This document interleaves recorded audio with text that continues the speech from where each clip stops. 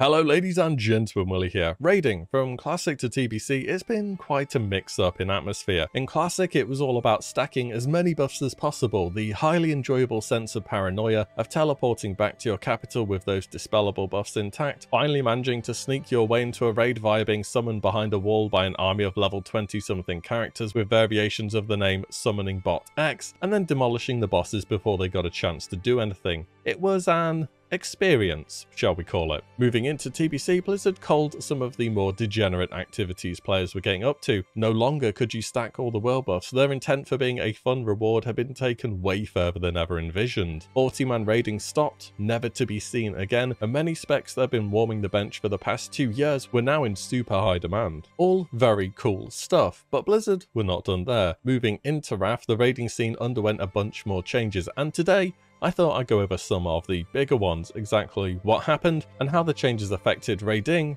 and raiders. Wrath actually changed a massive amount about the game. I feel there is more to cover here than vanilla and easily TBC in total, so let me know if there's anything that for you changed raiding big time in Wrath, but let's make a start. First of all, number one, raid-wide buffs. Part of TBC that has arguably one of the biggest impacts on your performance will only ever be available for a select few raiders. It's not your loot or getting hit by bad mechanics or just plain RNG, it's your group. Many of the buffs that count towards your performance are party only. This creates an environment of the haves and the have-nots, and for you to really have big numbers appearing on your screen when you press your buttons, you need raiding leadership that has decided that you really get to play the game in that particular week.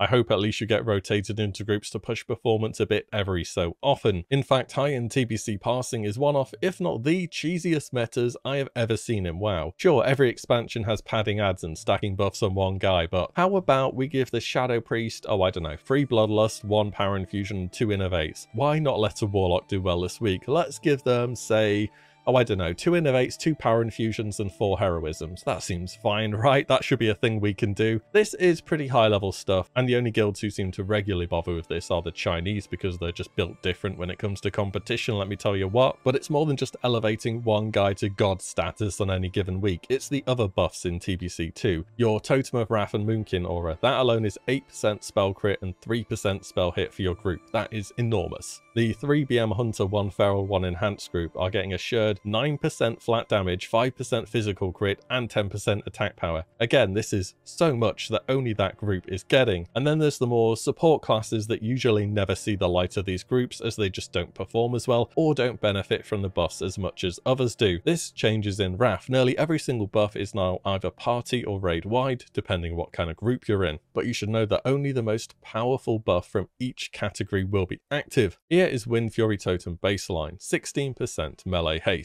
Yes, big F for Windfury Totem.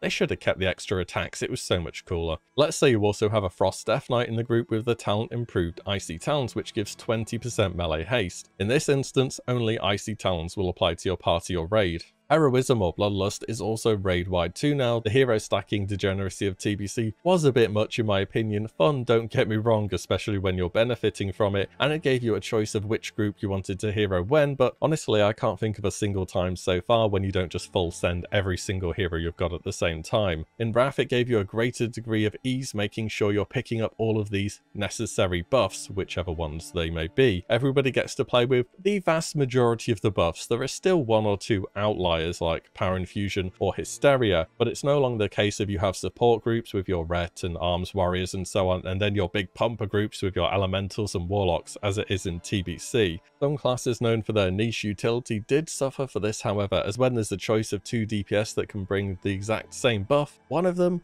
the majority of the time will be better. And this brings us on to number two. Bring the player, not the class design philosophy. It began for real during Wrath of the Lich King, though it's been attempted many times over the years. You may not think it worked at the time, but it was what Blizzard was going for. Here's an article from 2009 discussing a post from Ghostcrawler on the same topic, saying the rigidity that came with the Sunwell is one of the reasons that development has taken this direction. The motto sparked high hopes, and not all players are convinced that the implementation has been successful. So Sunwell in the Burning Crusade was when Back in the day at least, things were tuned up way more than had ever been seen before, and people really began to think if we do want to beat these raids, we need to bring X, Y, Z buffs, which at the time, they could only ever get from certain classes, though it ended up just for the most part being stack shamans and have everybody get leatherworking for drums. In Wrath of the Lich King, they say classes are designed so that many necessary buffs, such as replenishment, can be acquired through a variety of classes rather than just one. Good example to show off here. So replenishment, imagine Vampiric Touch, but weaker, but for your whole raid, so it's pretty good. Sometimes you don't really want to miss out on a buff like this, for example, so where can we get it?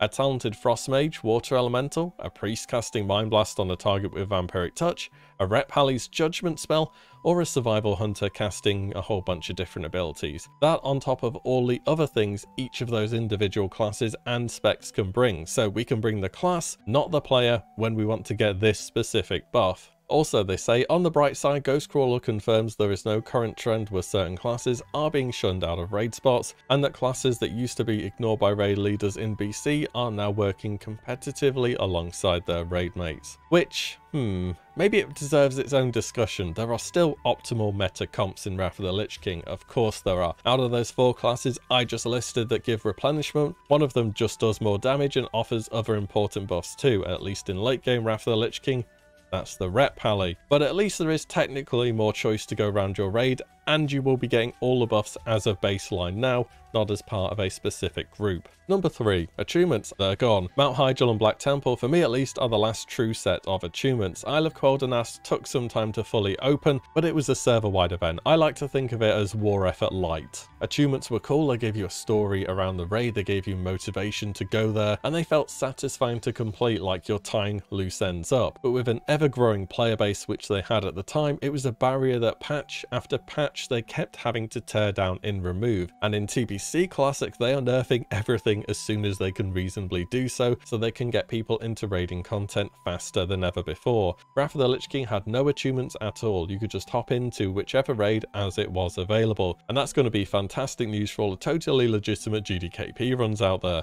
The only content that took time, sort of, to get into other than gearing was the ICC Plague Wing and Beyond, which was staggered upon release, so long as you could get over the player-made hurdles like Link Achievement and watch your gear score. Number 4. Speaking of doing any raid you want whenever, and there being no attunements, Wrath the Lich King was the time of the flavour of the month reroller for a reason, a phrase which I feel as though has absolutely disappeared in World of Warcraft. During Wrath I played among other things, a mage, a death knight, a shaman, a bit of rogue too, but my priest was the main character. It was really easy to re-roll with new patches, believe me, and just because we're going to launch on 3.3.5 does not mean you won't see people re-rolling during the expansion, believe me. Among the private server big brains, there is definitely a consensus that certain classes change dramatically between tiers and go from kind of average to absolutely insane. And on my Shadowlands account, I have a perfect time capsule of a mage from Wrath of the Lich King who's been squished to level 30 now, but I just never carried on playing them beyond that. Oh, and of course I rolled a Horde toon, mainly to PvP in Wrath the Lich King. Years of playing a human Shadow Priest led me to making the choice at exactly the wrong time. Funny how not knowing anything made me not care at the time either. This guy was absolutely pumping Arcane during tier 7, a total chad in the pug scene, and then would hop in some battlegrounds to hit people with the sheer power of Wrath of the Lich King Frost Mage. Right to carry on with this mage raiding, however, in the guild by midway through the expansion, not playing fire anymore would kind of be trolling, and by Icecrown Citadel, arcane mages have just disappeared off the meters and fire has risen to near the top. Warriors, for example, continue their trend of godlike scaling, again off to a relatively slow start, but by the end of the expansion with all the armor pen scaling they can hit, they become a top performing DPS. In Wrath, there's more ways to gear quickly than ever before. The normal mode dungeons are easy, as are the heroics, and you can queue into them from wherever you want thanks to the LFD system. We have badges, we have the Vault of Archavon, which gives you a chance each week at some very easy to get loot. We have revamped Onyxia's Lair, which also drops very good gear. Everything combined here sped up the gearing ladder considerably. Catch-up was a lot more aggressive in Wrath. Now there's always been catch-up, your ZG, AQ20, and then onto TBC, badge vendors, Zul'Aman, the Isle of Quel'Danas, and so on, but in Wrath the Lich King, it became a thing each patch. New major content patch, new badge, new gear, better catch-up dungeons eventually in Trial of the Champion in 3.2 and then Pit of Saron Forge of Souls, and then eventually Halls of Reflection after 3.3 as well. If you wanted the freedom to hop between classes and specs, it was never easier than Wrath of the Lich King. And finally, number five, the raid format, something which I just talked about recently because it's quite a complicated topic in its own right if we really delve into it. There was something that changed with raiding every single tier, and in TBC at the moment we only have our 25 man raid, and then our 10 man raid which is at the moment Karazhan, and later we'll be joined by Zul'Aman. On top of more ways to gear in Wrath the Lich King, this opened up new difficulty levels for more entry level players to really get their feet into the door for raiding. And then later on for the more hardcore players, hard modes were added to Ulduar, and then we had a formal heroic mode introduced from Trial of the Grand Crusader and then Icecrown Citadel after that. And moving from TBC into Wrath, it's a much nicer decision than the one you had to make at the end of Classic, where you had a choice between culling 15 of your raid members or trying to set up a second raid group. Overall, there is a lot that changes between the expansions. For me, I think the point I'm looking forwards to most is the additional level of challenge that Wrath of the Lich King will offer, and Demonology Warlock during Wrath, which is a pretty damn cool spec, and I'm definitely not salty they took Demon form away from Warlocks to give to Demon Hunters not even a little bit. As mentioned earlier, if you got any other things which change Wrath of the Lich King raiding dramatically for you, do drop them down below and maybe I'll revisit this later on. That's about everything though. As always, thank you all so much for watching and listening in, and I shall see you all in the next one very soon.